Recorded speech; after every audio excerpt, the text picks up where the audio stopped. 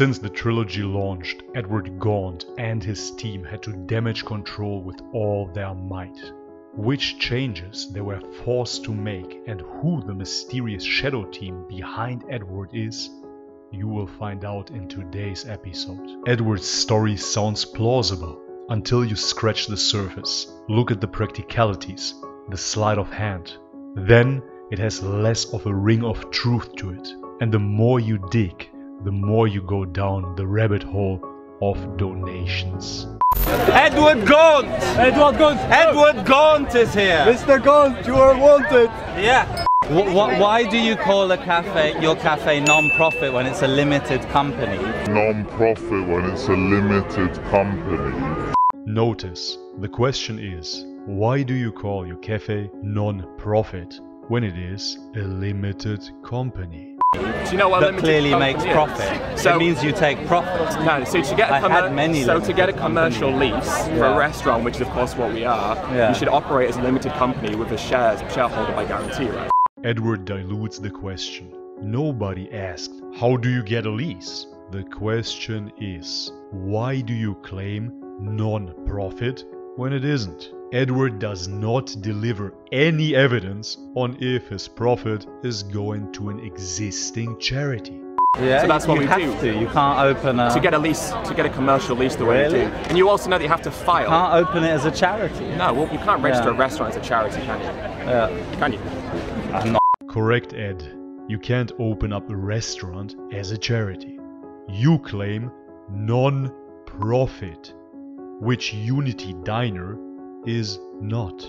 The alleged charity is supposed to be Surge, which has never been registered as a legal entity or a charity for the past three years.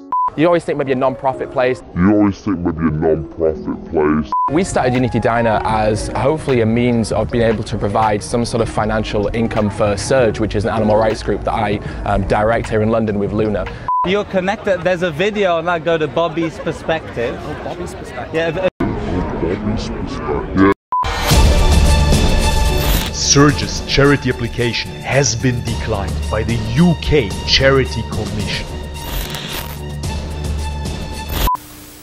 Surge has been declined charity status. No surprise there.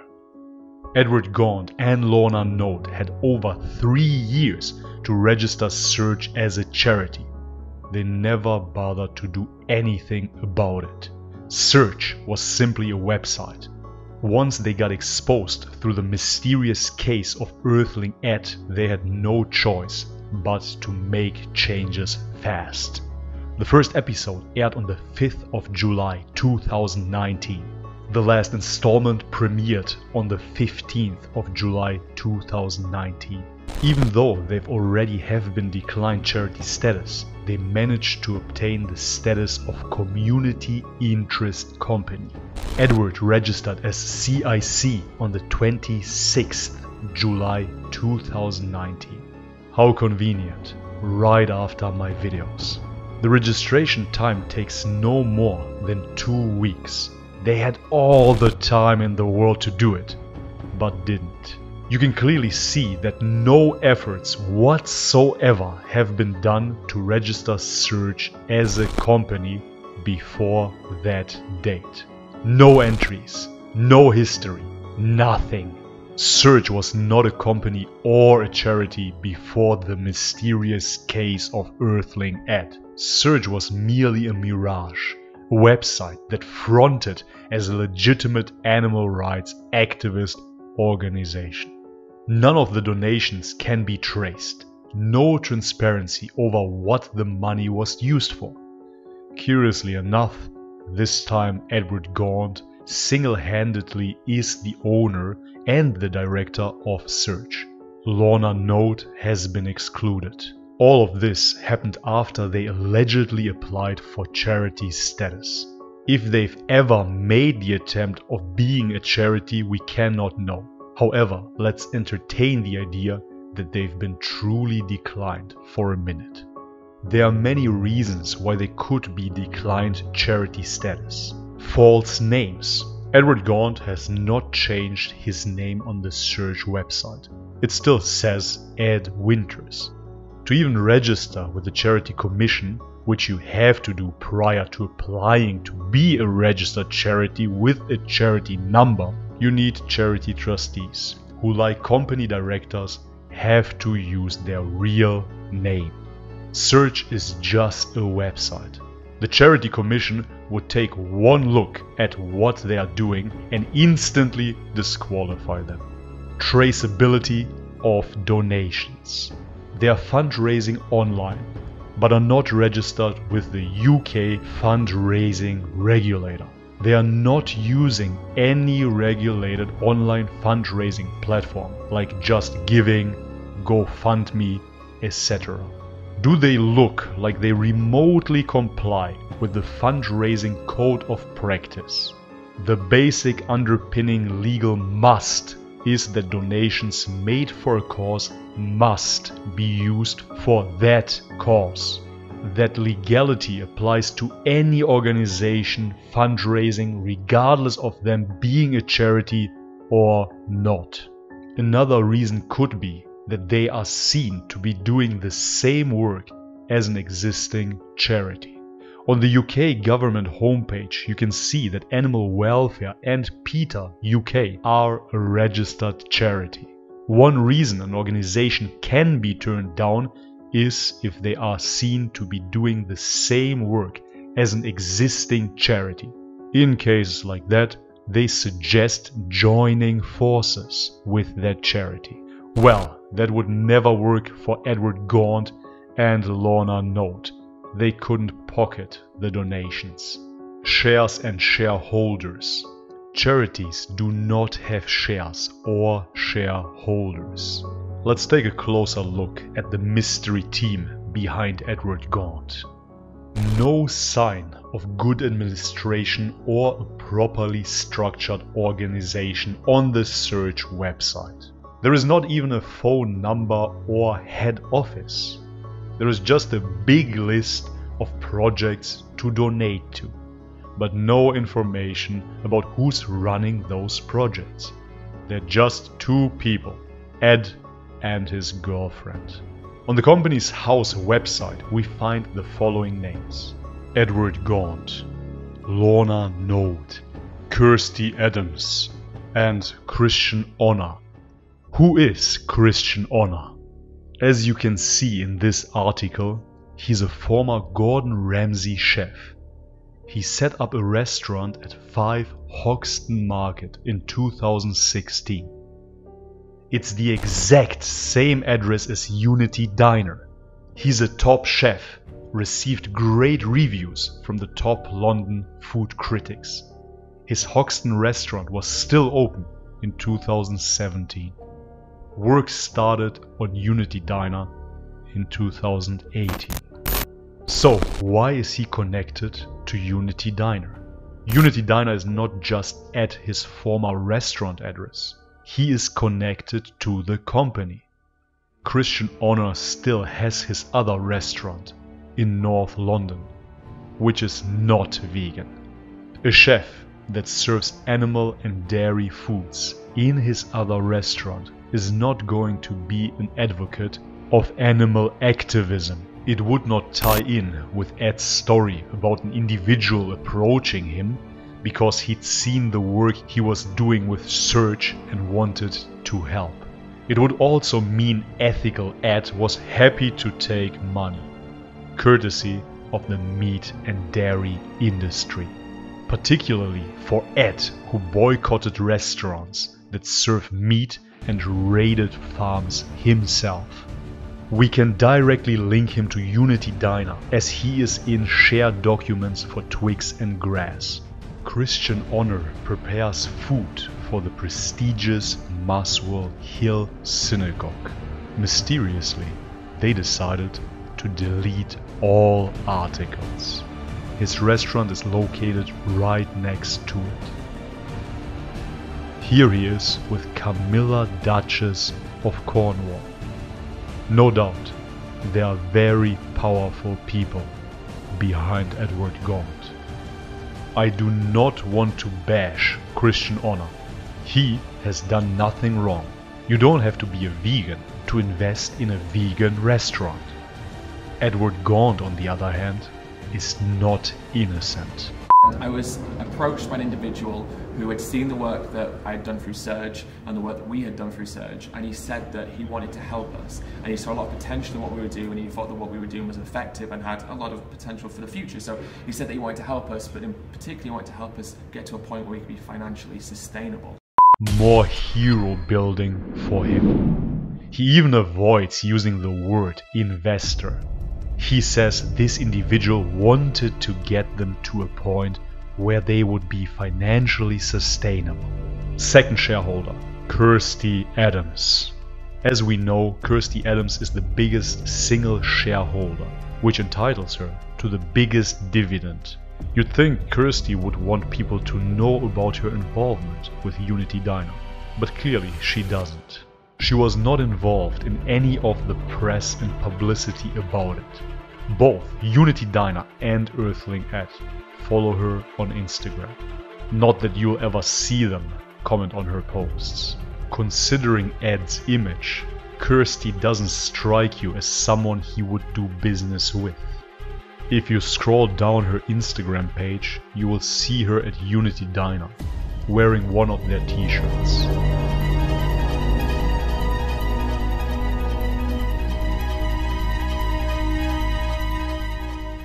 Andrew Crompton. Andrew Crompton, a successful real estate and letting company owner. He was involved in the initial setup of Twigs and Grass as a director. He was never a shareholder. Then Mr. Crompton resigned as a director. He was also involved in Purely Superfoods, which was dissolved on the 26th of March 2019 a previous company he and Kirsty Adams owned. We can directly link them together. What their relationship is stays a mystery for now. When they set up the company, if they wanted all profits to go to Surge, they would have found out the most efficient way of doing that. That would not be by taking dividends, which they will get as shareholders. Because if the dividend is over 2000 pounds, you pay tax on it.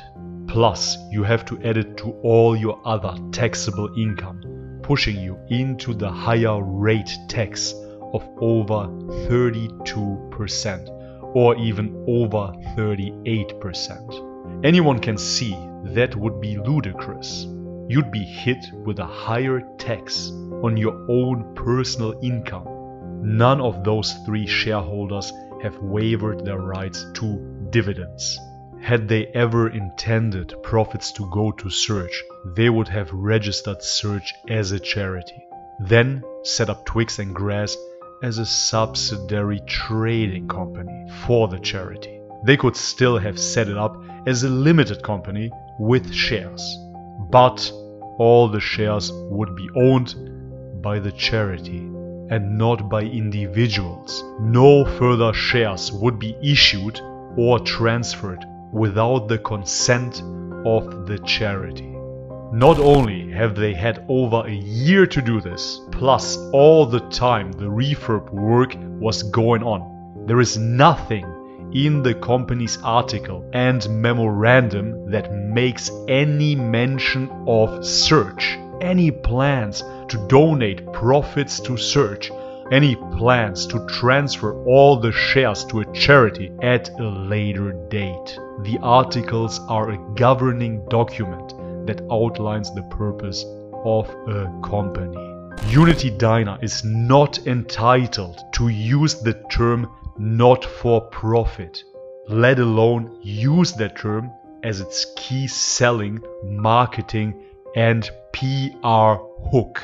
Key aspects to non-profits are accountability, trustworthiness, honesty, and openness to every person who has invested time, money, and faith into the organization. Charity fraud.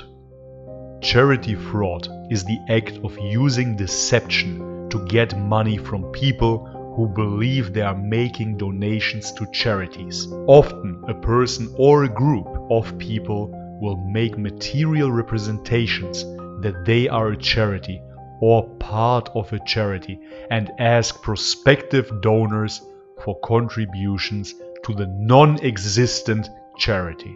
Charity fraud not only includes fictitious charities but also deceitful business acts. Deceitful business acts include business accepting donations and not using the money for its intended purpose. To think one diner could fund an animal sanctuary is either incredibly naive or just being used as a soundbite. It's hugely expensive to open a sanctuary, buying land, deciding on the type of animals the sanctuary will have. Many animals are very expensive to look after. Medical bills, vet bills, and staffing for the sanctuary. It's a 24 hour, 7 days a week, 365 days a year commitment. Until you have a clear business plan in place, the type of animals you'd be rescuing, the breakdown of costs, a target figure of what you need to raise, you should not be asking for donations. Without a good business plan, it's just a pipe dream, and you'd be asking donors to finance your lack of business knowledge.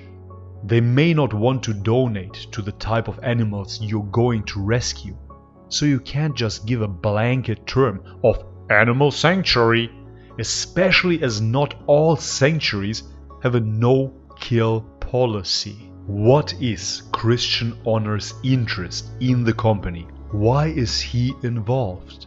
Why is Ed so keen to keep shareholders in the background? On what basis are they even claiming it's not for profit? Why is he not responding to donors' questions and concerns? If he truly tried to register Surge as a charity, when did he apply? What sort of sanctuary is he planning to open? Do not question Edward. If you have any concerns or questions, just post a comment on his social media. It will promptly be deleted or ignored. If you want to send him a private Facebook message, you will get an automated response and a link to the donate button. If you want to call Surge's head office, there is no head office or telephone number. Edward Gaunt has created a religious following around his earthling Ed persona. He depicts himself as the vegan Jesus, and his disciples follow him blindly. To join his cult, you will have to obey by his commandments. You must not know his real name. You must not know how much he receives in donations. You must not ask what he does with those donations. You shall not know who his investor is. You do not need to know if he uses a supplier that makes millions of pounds from animal slaughter. He will front it out for as long as he can make money. He will front it out to the bitter end. And it will be a bitter end. Because when people finally stop supporting him, he will be nowhere to be seen, nor will their money. He is not faced by the allegations or remotely upset because they are true. An honest person would address them, would speak to their followers and donors. Do people seriously think he even deals with his own social media platforms? You will never see him engage personally. You don't get to communicate with him. You're dealing with a faceless PR machine. You still have doubts? Good. Go ahead and email Ed about these issues. Let's see if we can find one single person that gets a response. They fooled a lot of vegans, but they can't fool the Charity Commission, as they are a public sector organization defined by rules and legalities. A picture of Earthling Ed kissing a pig is not a character reference in their rulebook. Vegans need to put their emotions to the side and look at the hard evidence. They know how animal lovers will react to animal photos on their website. The first thing you see on their landing page is End All Animal Oppression. Their supporters have already bought into saintly Ed. They don't need much persuasion. All the emotional triggers are in place. When people are emotionally charged, they are far less likely to notice that it doesn't remotely look like a legitimate donation platform. Deceit, dishonesty, non-compliance with legalities, misrepresentation will all disqualify you from being a charity trustee. This message is for all the Earthling Ed and Surge supporters. Ask Edward and Lorna why Surge has been declined. Ask them for proof that they even have applied. What is their end goal?